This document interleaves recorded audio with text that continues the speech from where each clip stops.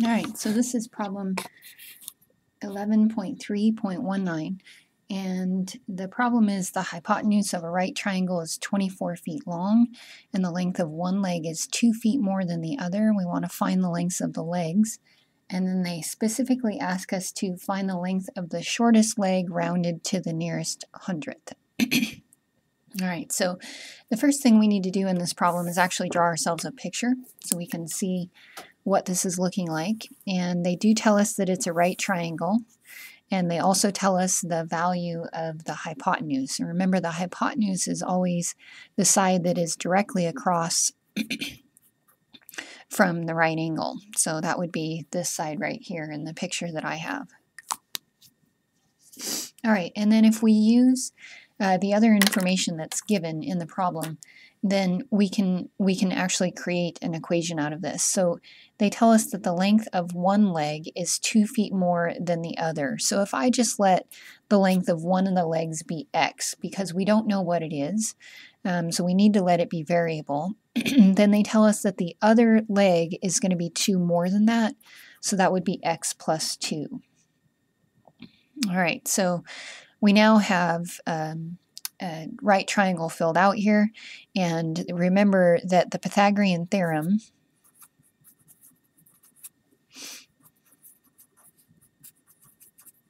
says this, when you have a right triangle, the relationship between the sides can be described by a squared plus b squared equals c squared. And the a and the b are the sides that come together to create the right angle, and then the c is always referring to the hypotenuse. okay. All right, so what we want to do then is we want to plug in each of these values that we have into our equation and then solve.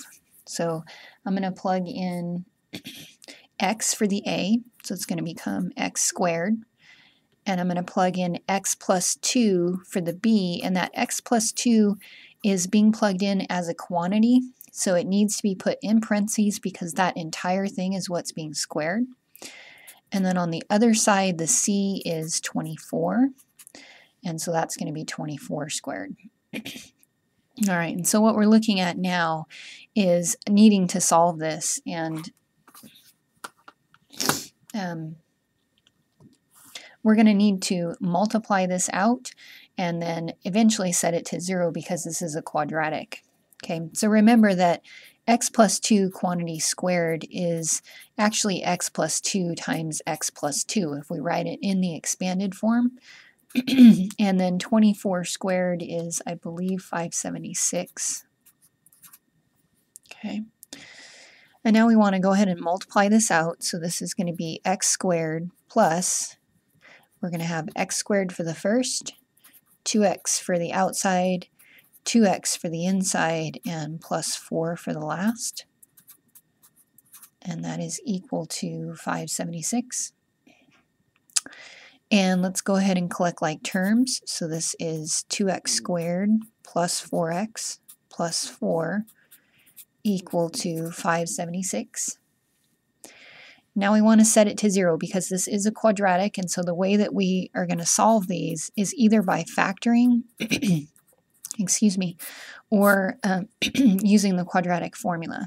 Okay, so subtracting 576, we're going to have uh, from both sides will give us a negative 572 and then 0 on the other side.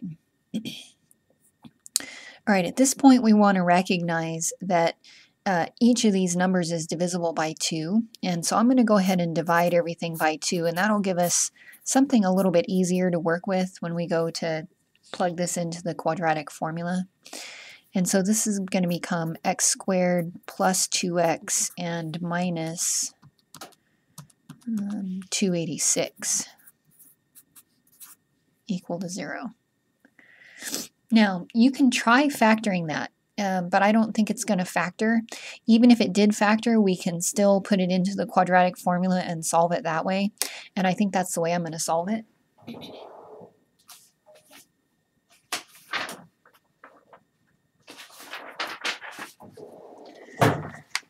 So let's go ahead and I'm just going to grab another piece of paper here. So this is x squared plus 2x, whoops, you can't see that, um, x squared plus 2x and then minus 286 equal to 0. All right, so using the quadratic formula, the a, which is the coefficient of x squared, is 1. The b here is 2, and the c would be negative 286. So plugging that in, we have x is equal to the opposite of b, so negative 2. So remember the quadratic formula is negative b plus or minus the square root of b squared. So b here, 2 squared minus 4 times a times c. And that's all over 2 times a. all right. And so uh, if we go ahead and simplify this, this becomes negative 2 plus or minus the square root of 2 squared is 4. And then we've got 4 times 286. And it's going to end up being positive because we have a negative times a negative here. So that'll be a positive 1144. And that's all over 2.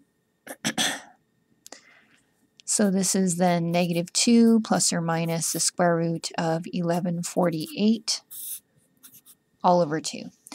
Now, in order to figure out how we're going to leave our answer here, um, we actually need to take a look at what how they're asking us to leave it. So they said find the length of the shortest leg rounded to the nearest hundredth. And they did use the word, I didn't write it down, but they did use the word approximate. So they did want us to approximate the answer here, which means we're not going to leave it in the exact form. The exact form is leaving it in radical form. Um, so instead, we're actually going to uh, do, do an estimation, which means we actually need to find the square root for this. Okay, so um, the first thing I'm going to do, though, is I am going to simplify this because I'd like to get rid of that denominator. And I do recognize that 1148 is divisible by 4. And so uh, the square root of 4, so if we rewrite it, it's actually 4 times 287. And 4 is, the square root of 4 is 2, so I'm going to bring that out as a 2. And the reason for doing that is I just recognized that then I could uh, divide each of these by 2 and really be looking at negative 1 plus or minus the square root of 287.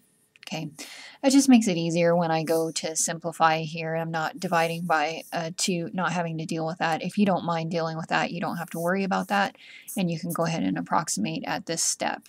Okay, so I'm going to approximate now. Because we're talking about um, lengths on a triangle, the negative isn't going to make any sense here because this is really two different answers. This is negative 1 minus the square root of 287 and it's also negative 1 plus the square root of 287. Okay, this one right here is going to give us a negative value. That doesn't make any sense in the context of it being a side on a triangle. So I'm just going to eliminate that one and work with this one right here. And so I want to get a value for 287. So you're just going to take the square root on your calculator. And they did say to go to the hundredths position which is the two decimal places. So this is negative 1 plus 16.94, if you do that on your calculator. And so this is really, um, excuse me, positive 15.94 when we do that math there. So this would actually be, since this is what x is equal to, and x is the shortest length, the shortest side here, then that's actually the answer that they're asking for in this problem. And that would be it in this problem.